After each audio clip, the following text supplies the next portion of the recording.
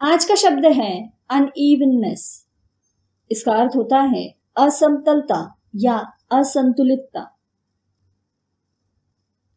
इस शब्द के उदाहरण हैं the price fluctuations in market is due to unevenness of demand and supply बाज़ार में कीमतों में उतार चढ़ाव, मांग और आपूर्ति की असमानता के कारण होता है। Unevenness in living standards of people is due to one-sided policies of center.